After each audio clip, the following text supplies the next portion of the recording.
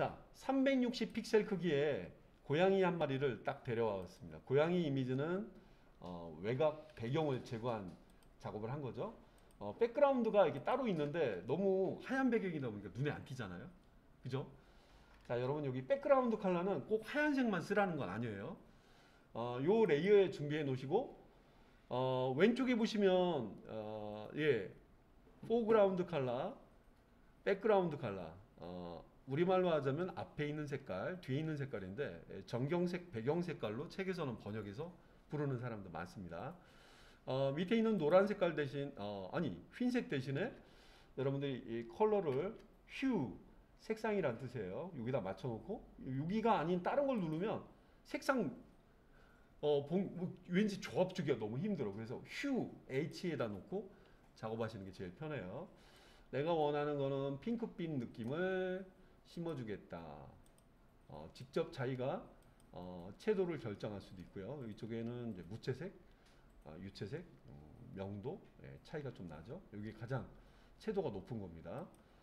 어, 아니면 직접 여러분들이 고양이 안에서 색깔을 쪽 뽑아올 수도 있어요. 여기, 여기 보- 귀, 귀때기 컬러를 쓰면 어떨까?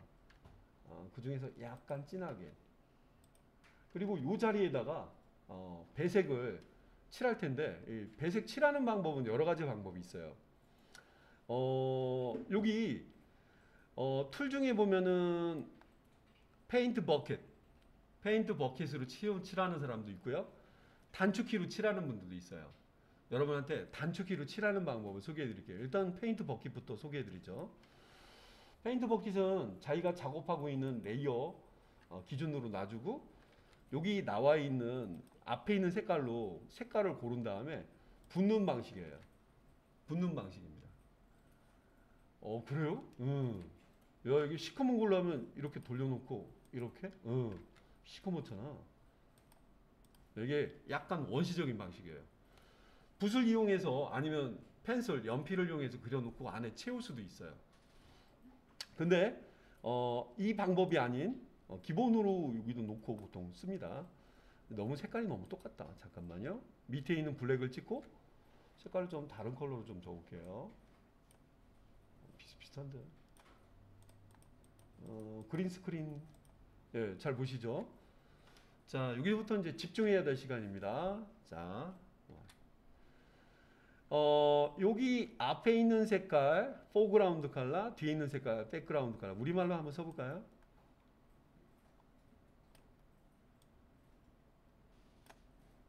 저기다가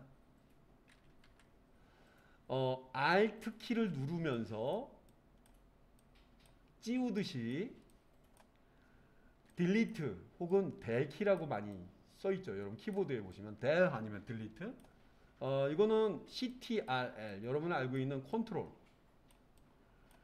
아, 이게 억지로 좀 갖다 붙이면 좀 이상한 말인데 예, 왠지 앞처럼 보이잖아요. 앞. 이거는 뒤. 어, 이 비슷한 말들이 워낙 제가 한국어로 막 돌려서 부른 게 있어서 앞 색깔로 지우듯이 채워버려 없어 덮어버리겠다 이런 뜻으로 생각하시면 더 좋겠습니다. 어, 한번 해봐. 어, 일단은 나는 뒤에 있는 색깔로 control delete 아니요 Alt delete 보통 요 한 방에 채우는 방법으로 범위를 정해놓고 하면은 그 범위만 범위 안 정하면 전체가 어, 이렇게 채워줄 수가 있습니다. paint bucket 저리 가랍니다. 이 방법은 어, 요때 쓰는 방법이고 이 드로잉을 포토샵으로 직접 그리시는 분들도 있긴 있어요. 어, 캡슐화 키를 이용해서 브러쉬 크기를 확인해 보고 어, 붓 크기 붓 크기는 대괄호 열기와 닫기를 통해서 작게 혹은 크게 증가시킬 수가 있죠.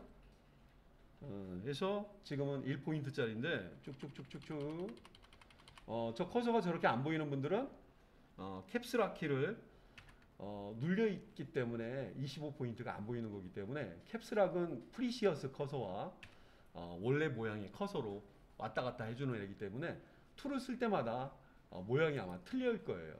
이거 보세요. 아니 polygonal lasso가 왜 난 저렇게 보이지 한다면 Caps Lock 키를 바로 누르세요. precise cursor는 꼴점 가운데 막 타겟이 보이게 그렇게 해주는 커서 공통이라 어떤 툴이나 쓰다가 되게 불편해요. 야, 이거 pen tool 맞지? Caps Lock 키. 오케이? 알아두세요. Caps Lock 키 키보드의 마우스 모양을 좀 틀리게 보여줍니다. 예, 보통은 이런 애들 같은 경우는 여기 컬러는 하나는 블랙으로 놓고 할게요. 어, paint bucket이 또 무용하다는 건 아닙니다. 무용하다는 건 아닌데 보통은 이렇게 어떤 형상을 좀 잡아놓고 이 형상 속에다가 자기가 적용해 놓은 어떤 특정한 컬러를 채울 목적으로 보통은 어, paint bucket을 많이 써요. 어, 그래서 지금은 어, 여러분들한테는 뭐 그림 그리는 분들이 아니기 때문에 어, 오 들어간 거 보이시죠? 어, 저런 목적으로 쓰는 거예요. 어, 단축키로 채우는 방법은 예, 뭐 예를 들면 이쪽 대상을 선택한 다음에 Alt delete, control delete 이렇게 해서 채우는 방법으로 쓰이기 때문에 어, 약간 어, 혼란스러우시겠지만 아 저런 방법들이 채색하는 방법으로 다양하게 쓰인다 이렇게 알아두시고요. 여기 이 지저분한 모든 화면을 난 지우듯이 없애겠다 할 때 여러분들은 어, Alt 혹은 컨트롤 키를 누르면서 싹 지우듯이 그냥 싹 채워버릴 때 clean 시키듯이 막 색깔을 막 들어 붓는 거예요. 아시겠죠? 일단 Alt delete, control delete 어, 집중. 자, 우리 고양이가 이렇게 딱 떴을 때 어, 눈에 띄고 자연스럽게 보일 수 있게 여러분들은 어, 배경 색깔을 어, 직접 음, 앞에 있는 컬러나 이런 걸 통해서 아까 같이 지정을 해주신 다음에 저는 유사 색깔 쓰는 걸 좀 추천해 드려요.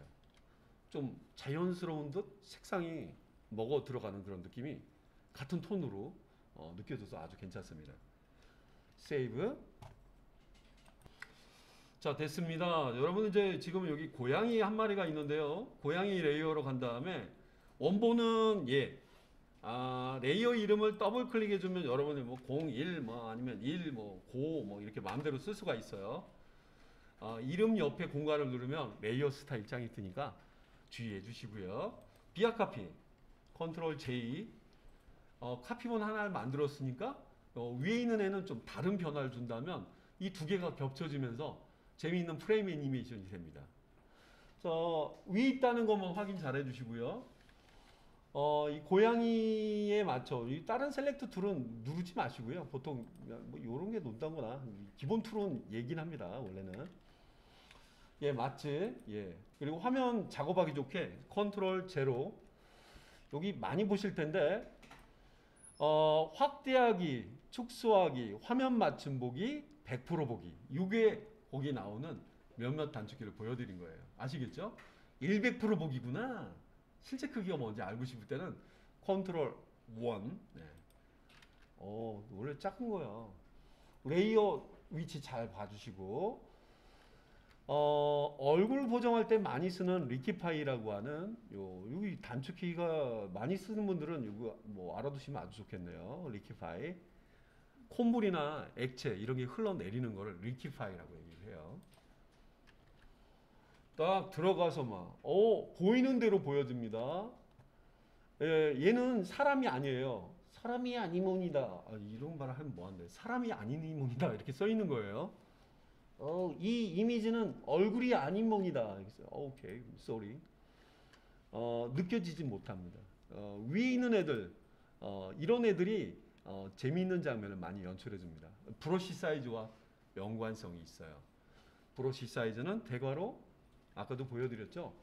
대괄호, 열기, 크게 하려면 대괄호 닫기, 좀 작게 좀 해봐.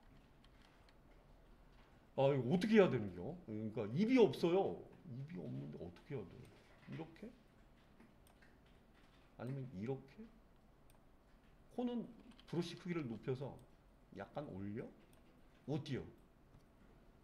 어, 이 붓 크기에 따라서 어, 이게 smudge라고 하는 포토샵에 있는 기능인데 그거를 약간 응용한 그런 느낌입니다. 그리고 잘못한 것 같으면 이거 reconstruct라고 해서 다시 세우는 거예요. 자, 예로 한번 제가 별의별 쇼를 한번 해볼까요? 이렇게 하면 쭉 찢어진 것처럼 보이죠. 원래 이런 이미지를 쓰면 안 된대요. 아시죠? 우리 손흥민 선수한테 관중들이 막 눈 찢어진 것처럼 한다거나 이 인종 비하 어, 나쁜 행동이잖아요, 그죠? 아 미안해, 미안해, 미안해. 인주 그런 게 어디 있나? 어.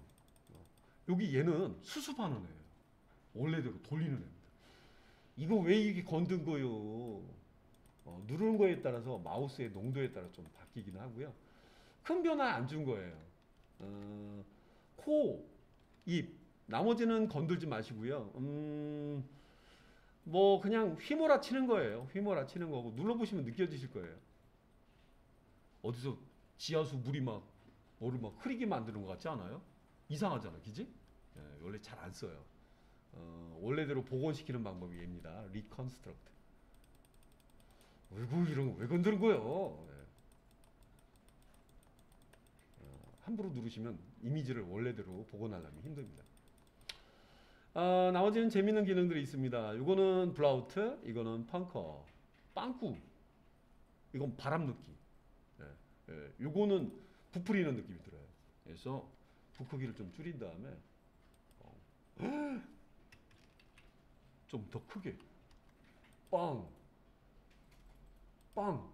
너 우리 놀란 고양이처럼 보이지 않아요? 뭐야 저게? 예, 뭐 슈렉에 나오는 고양이? 예, 아, 너무 이상하다 하면 슬쩍 눌러주면 약간 복원하려고 하는 느낌으로 돌아가는데 계속 닦으면 원래대로 돌아갑니다. 어때요? 어, 일단 너무 과하게 안 했어. 이, 이 앞에 있는 많은 옵션들은 조금 건들 때마다 조금 다르게 나오니까 논문이나 이런 거 쓰실 일이 아니라면 그냥 즐겁게 여기 있는 몇몇 키들 제일 많이 쓰는 거예요. 요두 개. 어, 얼굴 할 때는 이거고 나머지는 뭐 마스크라든가 다른 개념이라 요거 두 개. 어, 잘 알아두시고 오케이 눌러 볼게요. 자, 보겠습니다. 에? 어때요? 그죠? 약간의 변화가 있지 않아요? 어, 어, 약간의 변화, 약간의 변화, 어, 약간의 변화. 아, 나 입만 건들 걸, 아, 눈만 건들 걸 한다면 완전 아, 귀 부분은 좀 안 맞는다. 귀 부분은 아까 건드려서 그래요. 꼬롱꼬롱처럼 보이네요. 그래서 봐, 여기 좀 밑에가 안 맞나요? 이럴 때는 얘와 얘를 control이나 shift를 누른 다음에 move tool을 이용해서 조금 내려줘야지 문제가 없을 거 아니에요. 이렇게 떠 있으면 좀 이상하잖아요, 그지? 이렇게. 예, 요 정도? 어, 물론 이제 메시지가 될 만한 문자나 이런 걸 같이 써주면 좋은데 욕심이에요. 더 많은 걸 쓰려고 하면 욕심이 나올 수도 있는데 배고프다냥 뭐 이렇게 한다거나 그런 말을 많이 쓴다면은 어, 재밌게 또 표현이 될 수도 있겠죠. 자, 그거는 뒤를 한번 어, 마스크라던가 이런 거 배울 때 소개를 해드리고요. 자, 저장이 잘 돼 있다면은 어, 지금 여러분이 사용하는 곳은 어디? 이센셜. 이센셜인데 제가 깔끔하게 나머지를 다 제거를 해버리고 요것만 보이겠죠? 어, 그 다음에 어, 요걸 누르면 원래대로 돌아가니까 주의를 해주세요. 차라리 아예 만들 거면 어, 요거는 이 장면은 워크스페이스는 본인이 작업하기 좋게 세팅을 해주는 거를 여러분 꼭 알고 계셔야 돼요. 리셋 초기화된 상태. 나는 이것만 필요하다. 딱 잡고 뜯어내고 딱 잡고 뜯어내고 닫아놓고 나는 이것만 쓰고 싶다. 매번 리셋하는 게 너무 힘들어. 누른 다음에 New Workspace.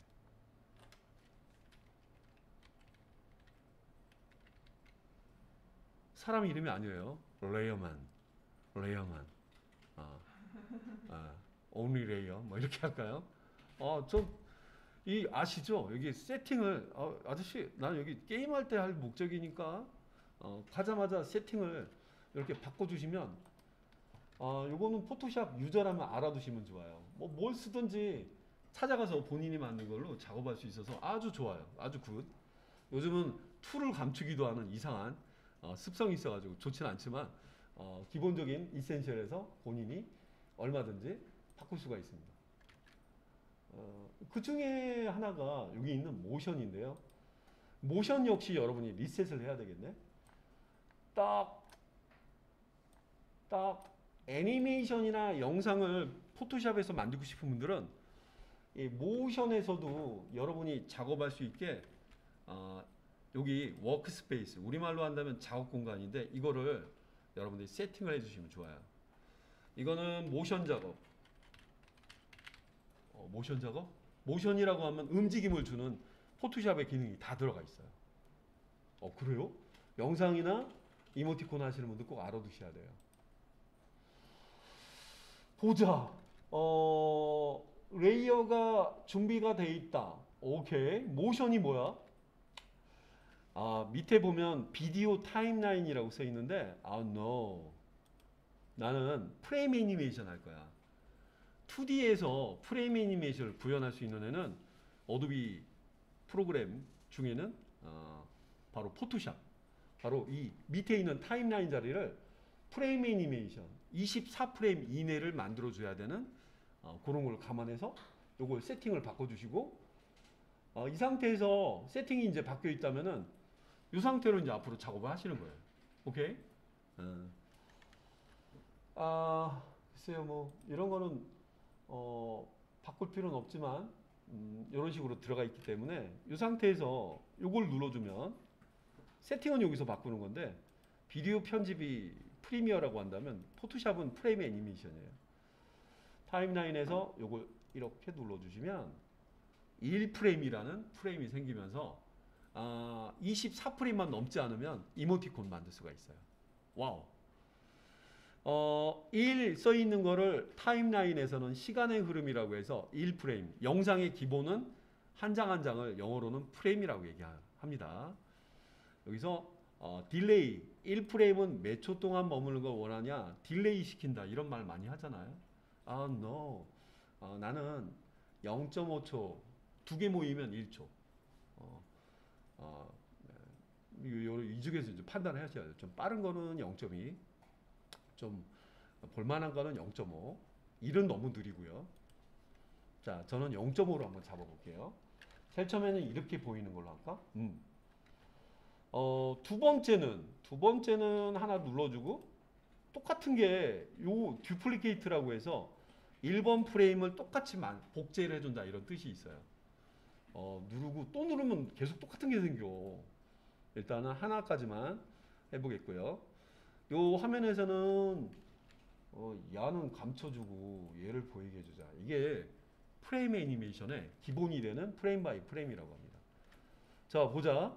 1번은 layer 01이 2번 프레임은 01점 카피 이렇게 써 있기 때문에 둘이 다른 그림이기 때문에 우리 보는 사람 입장에서는 어 다른 게 껌뻑껌뻑 움직이는 것처럼 확인해 볼 수가 있어요. 플레이 버튼 혹은 스페이스 바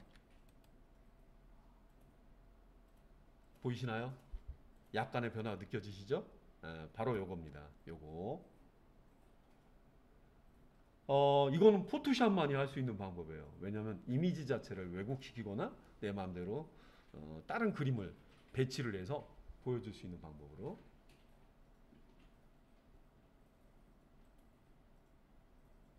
여기다가 무슨 야옹아 멍멍이 해봐 이런 글자가 뜬다면 무슨 그런 배너 광고가 될 수도 있겠고요. 어, 프레임을 준비해서 어, 이렇게 움직이는 거 확인해 보시고. 정지 혹은 스페이스바. 플레이. 스페이스바. 어, 뚜릉 소리도 나긴 하지만 이건 맨 앞에 가기 어, 요 파트 혹시 이모티콘에 관심 있는 분들은 유튜브로 보신다면 유튜브에 이모티콘으로 넘어가는 그 재생 목록을 제가 준비한 게 있어요. 거기 관심 있는 분들은 사진을 갖고도 이모티콘을 만들 수가 있습니다. 아, 글씨 요소나 이런 거는 조금 더 업그레이드를 해서 다음에 어, 이 고양이가 말하는 버전으로 소개를 해드리겠습니다. 자 일단은 여기까지 하셨다면은 내보낼 준비 된 거? 예, 내보낼 준비 된 거.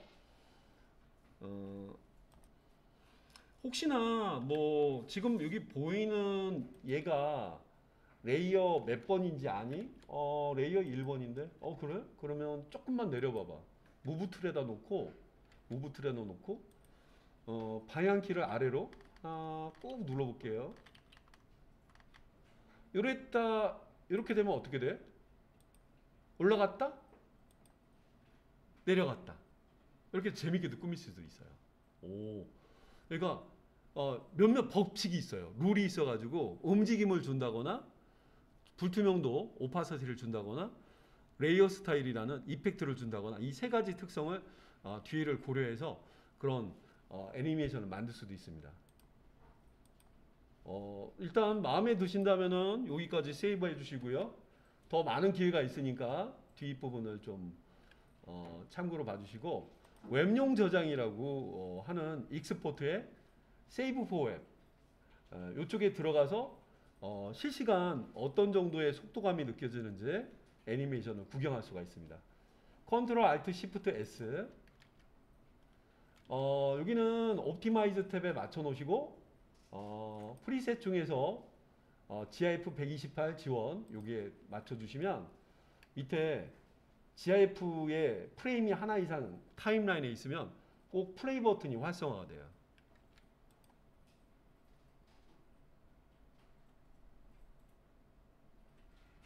어, 근데 내려왔다가 올라온 다음에 너무 너무 빨리 지나가지 않아요? 그죠? 어, 볼 틈이 없다. 어, 네, 캔슬. 왜? 여기 이 장면은 1초 동안 보이게 하고 싶어. 시간에 따라 다르게 꾸미실 수도 있어요. 이거는 쓱 올라오는 거니까 0.5초 너무 느리다. 0.2초. 한번 여러분도 비슷하게 세팅 한번 해보세요. 0.2초에서는 쓱 올라온 다음에는 1초 동안 눈 크게 어, 이렇게 꾸미는 작업도 가능해요. 어, 궁금하시다면 control alt shift S 어, 요거를 어, GIF 128로 맞춰 놓고 플레이 버튼 눌러 볼게요. 근데 이- 약간 반복되는 느낌처럼 보여서 음, 네. 그래서 올라오는 장면 같은 경우 어, 뭐 여기 더 프레임 수가 더 많아야지 재밌는 걸 표현할 수가 있습니다. 자, 일단은 이런 식으로 제가 좀 보여드려 봤고요. 하나와 둘, 어쨌든 여기 나와 있는 애들은 무조건 어, 하나를 누르면 하나, 둘을 시프트로 눌러서 어, 이걸 눌러주면 두 번 반복하는 그런 장면처럼 꾸며줄 수 있어서 어, 뭐 혹시 네 개를 원하신다면 이렇게 도합 8프레임짜리 애니메이션 만들 수가 있습니다. 아, 물론 더 어, 아기자기한 그런 내용이 좀 들어가야 되겠습니다만 이렇게 봐주시고요. 아, 어디요? 어디 한번 볼까요? 너무 빨리빨리 지나가는 건 아닌지 모르겠다. 예. 자, 프레임 수가 24프레임을 넘어가면 안 돼요. 이모티콘. 웹용 저장.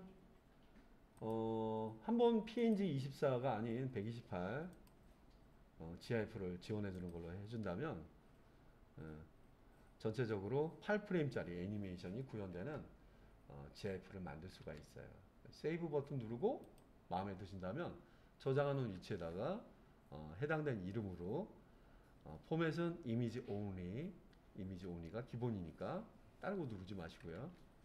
저장을 누르면 어, 간단한 사진을 이용한 어, 간단한 GIF를 만들 수가 있습니다. 뭐 볼이 뭐 붉게진다거나 어, 글씨가 보이게 한다거나 새로운 그림이 뜬다거나 이런 부분은 어, 거기에 따라서 부수적으로 줄 수가 있겠죠.